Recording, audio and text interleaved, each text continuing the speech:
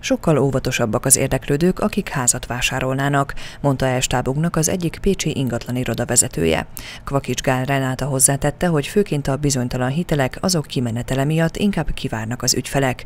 Emellett a keresleti oldalon megváltoztak az igények. Nagyjából ezt látjuk, hogy a korszerűtlen régebbi építésű ingatlanoknál teljesen megállt a, a, az érdeklődés, viszont falun az olcsó ingatlanok, mi elég messze elmegyünk, tehát mi Somogy megyéig elmászkálunk, van ott egy kollégám még, tehát az ilyen 5 millió alatti ingatlanoknál viszont iszonyatosan megnőtt a kereslet. Ott aztán teljesen mindegy az, hogy milyen állapotú az ingatlan, olcsó legyen az a lényeg. A szakértő úgy látja, hogy a várható rezsi áremelkedés is nagy mértékben befolyásolja azt, hogy milyen állapotú házat vásárolnak az érdeklődők.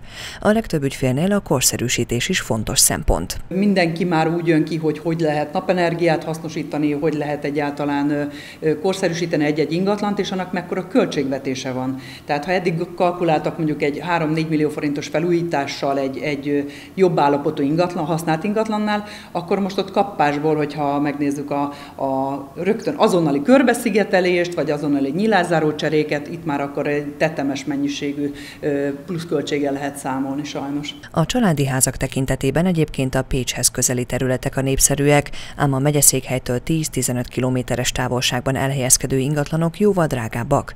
Vannak olyan érdeklődők is, akik már messzebb 25-30 kilométerre is vásárolnának házat, itt viszont a benzinárak miatt olcsóbb ingatlanokat keresnek.